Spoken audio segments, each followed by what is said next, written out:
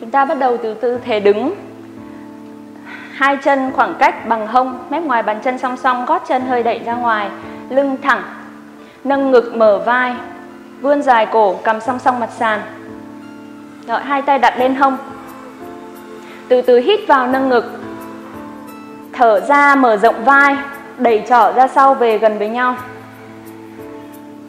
Mỗi hơi hít vào tiếp tục nâng cao ngực, thở ra tiếp tục mở vai đẩy trỏ ra sau. Đây là tư thế mở ngực.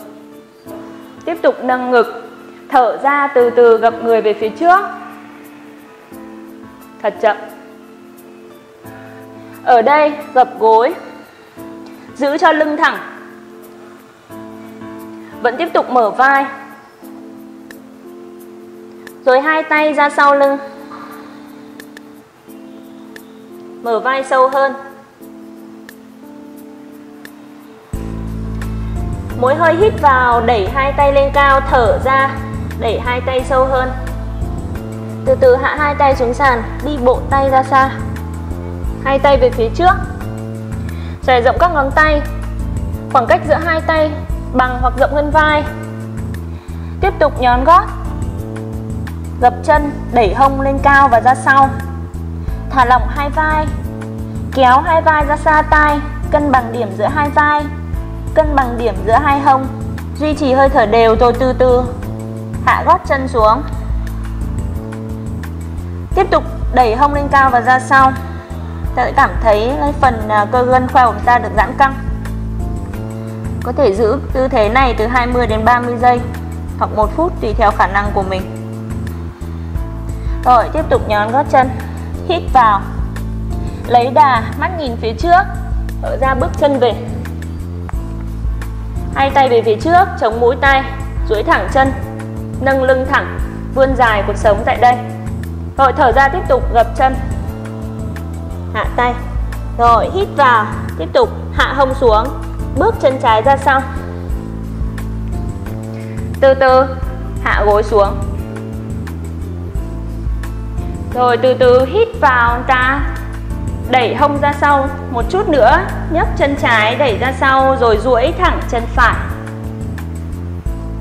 bước tay về gần hơn, co gối rồi còn bạn nào có cơ con heo tốt đã duỗi thẳng chân mũi chân hướng lên kéo các ngón chân về phía thân mình, gót chân đẩy ra, cân bằng điểm giữa hai hông. Tiếp tục hít vào vươn dài, cuộc sống mở vai, mở ngực. Hai tay đi về phía trước, gập sâu hơn. Rồi từ từ hít vào, Đưa tay trở về, Gập chân phải. Rồi, Tiếp tục ạ, Mở khớp háng rộng hơn, Mở sang ngang. Đưa chân, đưa tay vào trong Chân phải ra phía ngoài. Ta có thể để trong mét thảm Trong thảm hoặc là bước ra ngoài mét thảm Tùy theo cái độ um, mềm dẻo của cái khớp háng của mình. Chưa ạ? Thật chậm thôi Nếu có thể chúng ta hạ hai cùi trỏ xuống. Để cho phần trỏ vuông góc với mặt sàn. Muốn tăng thêm phần khó, ta nhấc đầu gối bên trái lên khỏi mặt sàn. Gót chân đẩy ra sau rồi từ từ hạ gối trái hít vào đưa tay trở về. Bước chân vào giữa. Rồi từ đây ạ. Hai tay chống đẩy hông ra sau một chút. Rồi từ từ hít vào nâng người lên. Hai tay đan lại đặt lên chân phải. Dùng hai tay nhấn vào chân, mở vai nâng ngực. Mỗi hơi hít vào ta nâng khung sườn, mở rộng khung sườn, nâng ngực lên cao. Từ đây ạ, thả lỏng hai tay, tay trái đặt ra phía ngoài, chân phải. Tiếp tục hít vào, dùng lực ở tay đẩy vào chân, chân không kéo vào trong, đẩy chân vào tay và tay kéo chân vào trong.